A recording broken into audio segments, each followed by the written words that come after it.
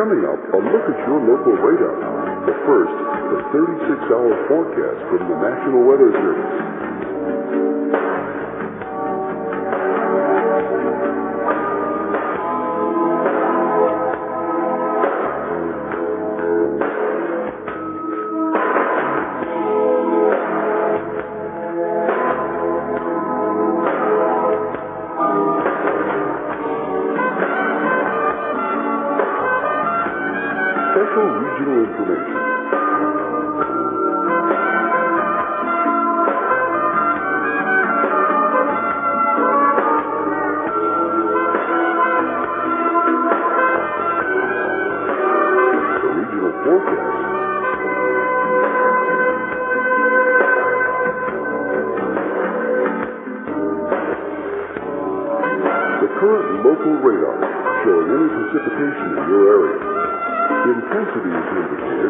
Color code at the top of the screen.